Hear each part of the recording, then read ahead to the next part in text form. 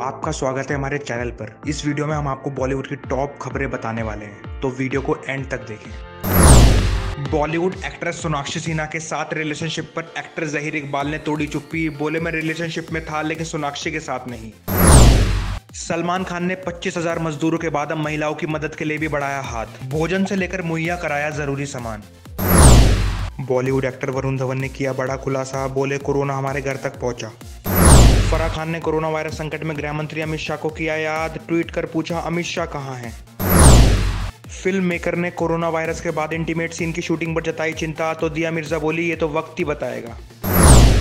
रामायण महाभारत के बाद अब मशहूर कॉमेडी शो ऑफ़िस ऑफ़िस की टीवी पर वापसी।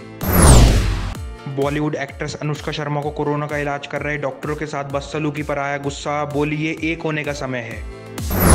बॉलीवुड एक्ट्रेस शिल्पा शेट्टी ने शेयर किया बॉडी फैट कम करने की एक्सरसाइज का वीडियो। बताया, रोज़ाना करने से टोन होती है बॉडी।